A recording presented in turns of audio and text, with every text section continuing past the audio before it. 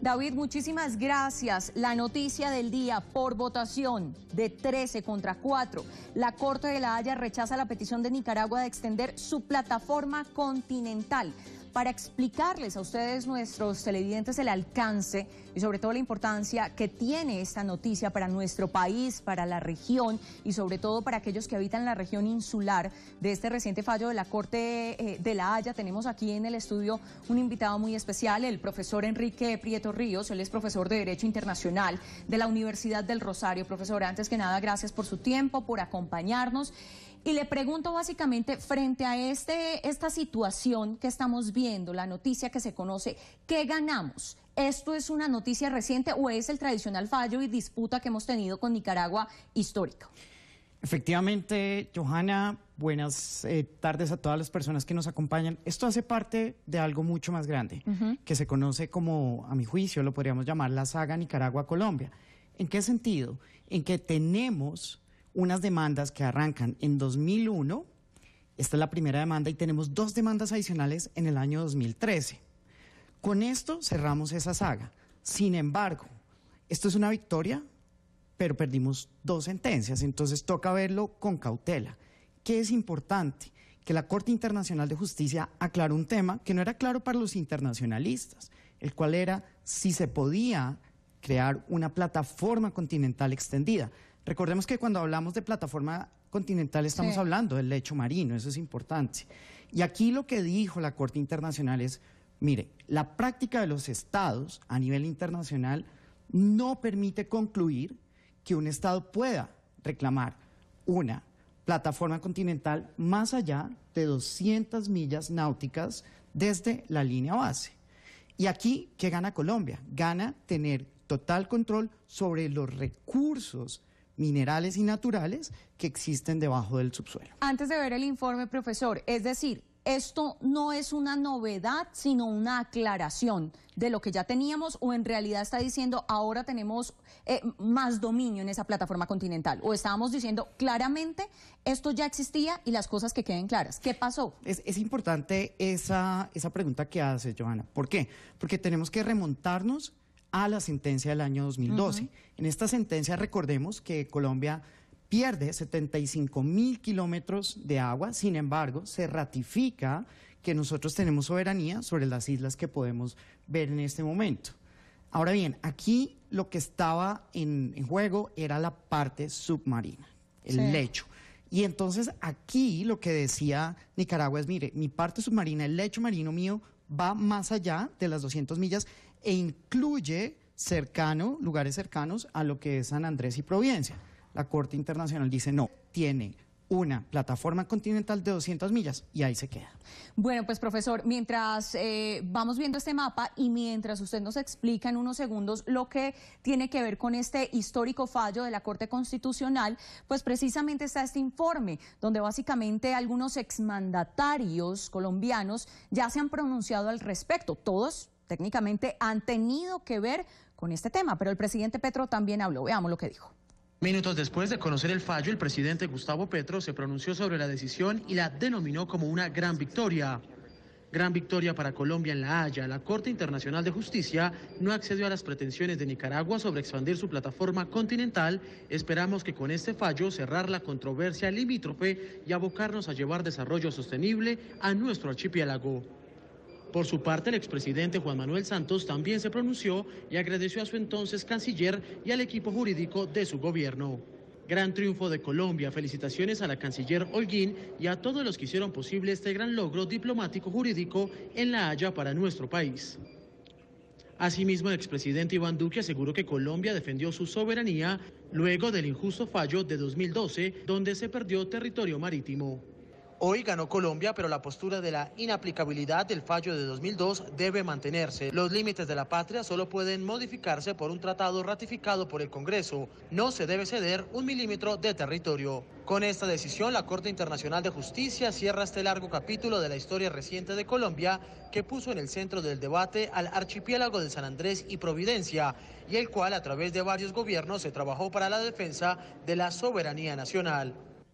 Bueno, pues ahí está, profesor, y ahora sí le voy a pedir amablemente que nos explique lo que estamos viendo en esta pantalla, esto para tener una referencia gráfica y ya con el mapa, qué es de nosotros, qué no es de nosotros, hasta dónde vamos y qué es técnicamente lo que nos tiene en eso que usted ha llamado saga Colombia-Nicaragua.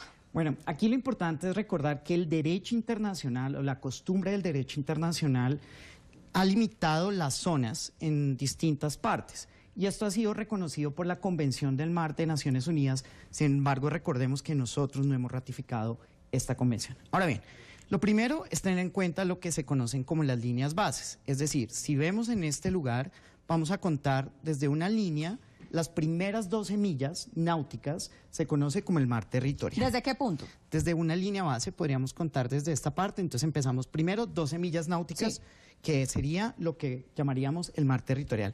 Posterior, tenemos otras 12 millas náuticas o 24 millas, 12 millas náuticas contadas desde el final del mar territorial o 24 contadas desde, el mar desde la línea base, que se conoce como la zona contigua. Y posteriormente tenemos 200 millas náuticas que se conoce como la zona económica exclusiva. Eso es lo que tenemos en la parte superior. Pero también, que era lo que estábamos hablando ahorita, o el fallo de hoy, es de la parte submarina. Y entonces, la parte submarina... ¿Desde, qué parte? Desde la línea base también. Todo lo tenemos que contar de la línea base, exactamente.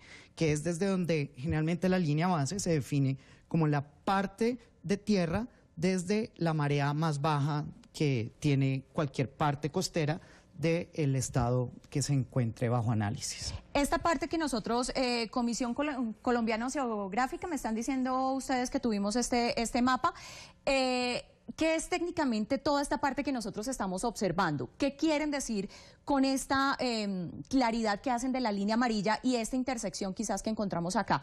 Sí, bueno, entonces aquí varios, varios temas. Entonces, lo primero es recordar que en el 2012 la Corte Internacional de Justicia ratifica que nosotros tenemos soberanía sobre las islas de Providencia, Santa Catalina, San Andrés, y que también que estaba en discusión de esto, la isla de Cayos Bajo Nuevo y la, isla de Cayos de Serranilla. Es decir, Isla Cayos de Quitasueño, espero aquí no, no moverme tanto para no quitarles visibilidad. Isla de Providencia Santa Catalina, Islas Cayos de Roncador, Cayos de Serrana, San Andrés, Cayos del Este Sudeste, Isla Cayos de Albuquerque y adicional esta parte de acá Isla Cayos de Bajo Nuevo, Islas Cayos de Serranilla, son nuestros. Correcto. Pero yo tengo una pregunta, ¿cómo llega un pescador a esta parte? Digamos, si esto es de este mar, esta, eh, esta región de acá es de Nicaragua, ¿cómo llega uno para trabajar a esa zona? Exactamente, entonces uno de los grandes retos o dificultades de la sentencia del año del 2012 fue que reconoció que nosotros éramos soberanos,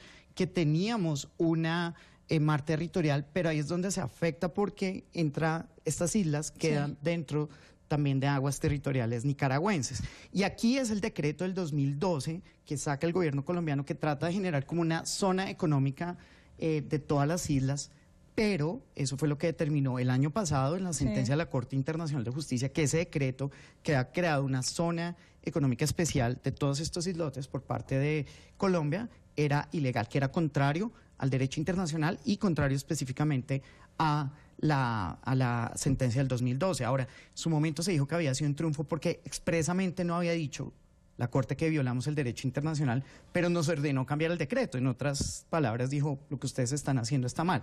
Y ese es uno de los grandes retos. Pero aquí lo que vemos es que a nivel subterráneo reconoce la Corte Internacional de Justicia que nosotros tenemos jurisdicción 200 millas náuticas contadas desde la base, desde la línea base, y eso es una gran ganancia para nosotros. Profesor, un ciudadano cualquiera dice, ¿y para qué? ¿A mí de qué me sirve y al país de qué le sirve que tengamos esa parte subterránea sea nuestra?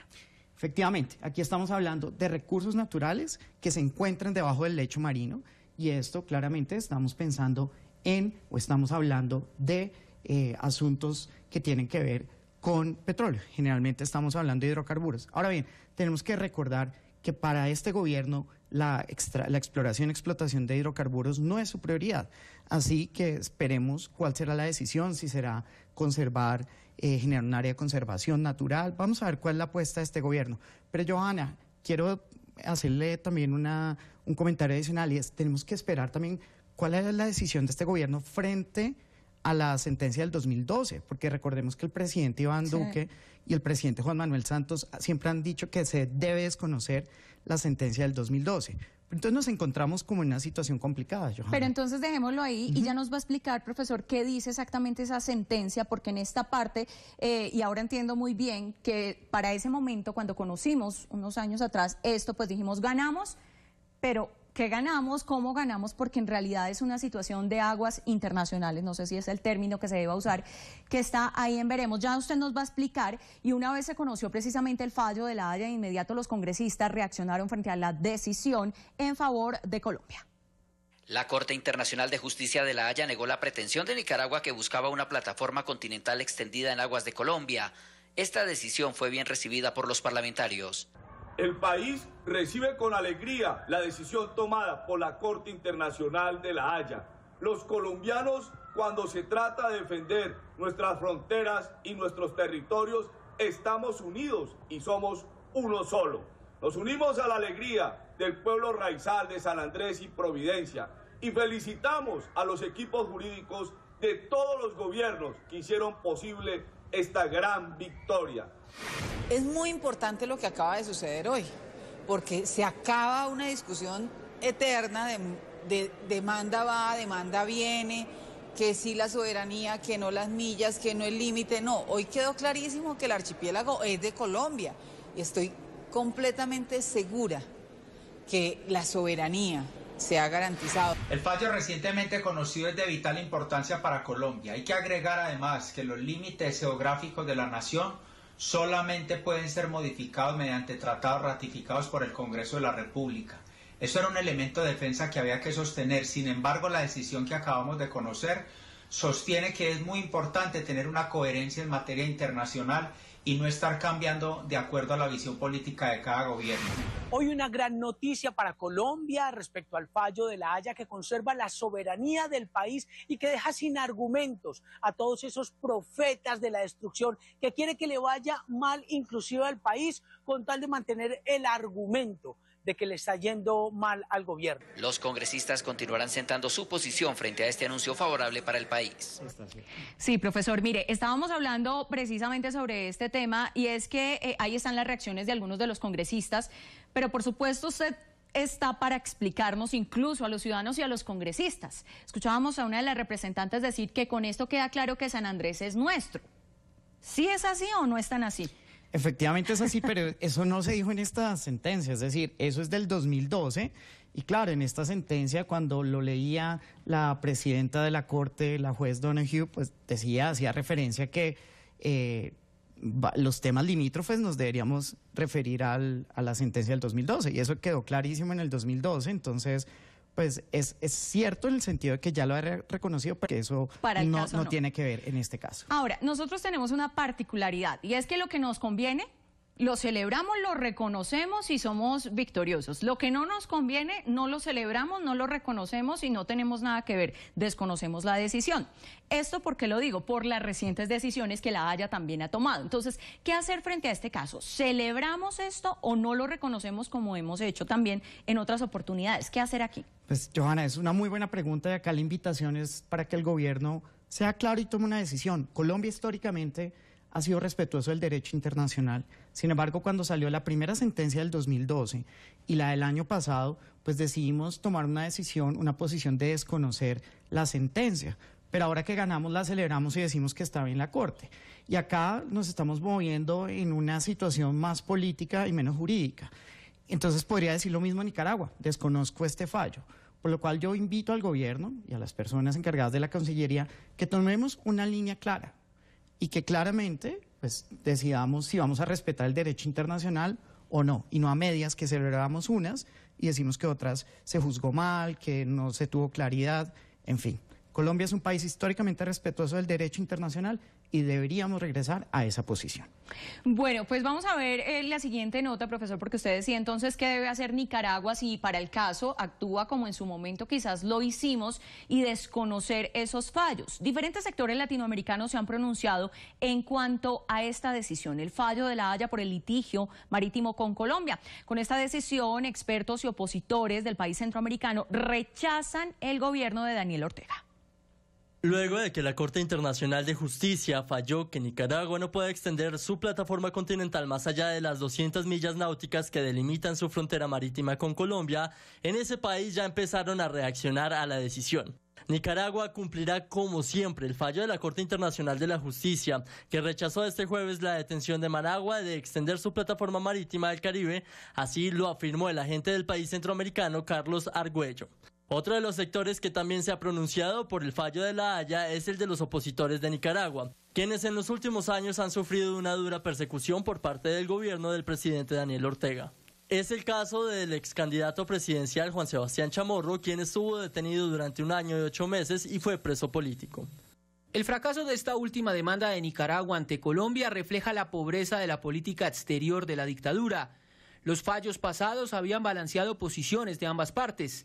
En este caso no le dieron a Nicaragua nada, lo que refleja lo débil de los argumentos. Asimismo, diferentes analistas internacionales han apoyado la decisión tomada por parte de la Corte Internacional de Justicia. Ni convencionalmente ni en derecho consuetudinario se ha admitido una tal posición, es lo que dice la Corte Internacional de Justicia, y en ese sentido niega todas las pretensiones de Nicaragua. La primera que se declarase la existencia o los derechos de una plataforma continental extendida y segundo que se procediese a la delimitación. Vale la pena mencionar que Nicaragua sostenía que tanto el derecho constitucionario como el artículo 76 de la Convención de la ONU sobre el Derecho del Mar ofrecen una cobertura legal a su demanda, pero Colombia, que no ha ratificado dicha convención, argumentaba que Managua no demostró científicamente que tiene una plataforma continental que se extiende a más allá de las 200 millas. Profesor, ¿cómo ve usted las reacciones eh, por parte también de mm, de opositores del gobierno de Ortega. ¿Cómo ven las reacciones a nivel del mundo frente a esta situación? Efectivamente, y también lo mencionaba el profesor San Juan que, lo veía en el video, pues aquí es un tema jurídico y lo que estaba argumentando Nicaragua era que eh, efectivamente se debía reconocer más allá de las 200 millas náuticas porque era una costumbre internacional y como lo mencionaba al principio, lo que dijo la Corte, esto no es cierto, los estados no tienen esa práctica. Y como tal, por ejemplo, lo que mencionaba el opositor Chamorro de que demuestra la debilidad de los argumentos es cierto. Eran unos argumentos que, claro, jugaban dentro de esa falta de claridad que teníamos en el derecho internacional sobre cuál era la, cuál era la regla frente si existía la posibilidad o no de una plataforma continental extendida. Pero sus argumentos, como lo dijeron, son débiles y eso es lo que termina ratificando que Colombia tenía la razón. ¿Desde cuándo estamos en esta historia? Nosotros preparamos un informe sobre el tema, profesor, pero quiero que nos explique rápidamente desde cuándo estamos en este pleito. Porque siempre que sale noticia de Nicaragua, Colombia, nosotros decimos ya se solucionó, podemos pasar a otro tema, pero siempre hay algo más que quedó pendiente. ¿Cuántos procesos tiene la Haya frente a este tema? ¿Qué más queda por definir? ¿Y desde cuándo estamos en este problema? Efectivamente, Joana y televidentes, es importante recordar que la primera demanda dentro de esta saga Nicaragua-Colombia es del año 2001. En esta demanda que es definida en el 2012, pues perdemos 75 mil kilómetros de agua, pero muy positivo, se ratifica la soberanía. Después de esto, al año siguiente, en el 2013, Nicaragua interpone dos demandas adicionales. En, en, ese periodo de tiempo es importante recordar que Colombia denuncia o se sale el Pacto de Bogotá, que es lo que le permite a este Tribunal Internacional tener jurisdicción. Entonces, en total estamos hablando de tres demandas y con esta es la última demanda. Entonces aquí se cierra totalmente la posibilidad de continuar con otros litigios bajo la jurisdicción de la Corte Internacional de Justicia. Me queda una pregunta por hacerle, profesor, pero quiero que veamos este informe del que le comentaba y es que la disputa territorial entre Colombia y Nicaragua es histórica, se remonta también al siglo pasado durante por años, por décadas. Los países se han enfrentado en la búsqueda de respetar, claro el término acá, soberanía y espacio territorial. Veamos. La más reciente disputa entre Colombia y Nicaragua se remonta al 6 de diciembre de 2001, cuando el país centroamericano radicó ante la Corte Internacional de Justicia una demanda contra Colombia reclamando la soberanía sobre el archipiélago de San Andrés y Providencia, solicitando establecer el límite marítimo entre ambos países. El 19 de noviembre de 2012, la Corte Internacional de Justicia en La Haya, Países Bajos, promulgó un fallo contra Colombia que entregó 75 mil kilómetros cuadrados de mar territorial colombiano a Nicaragua, en la jurisdicción de las islas de San Andrés y Providencia. El 16 de septiembre de 2013, Nicaragua interpuso una nueva demanda buscando la delimitación de la plataforma continental más allá de las 200 millas náuticas.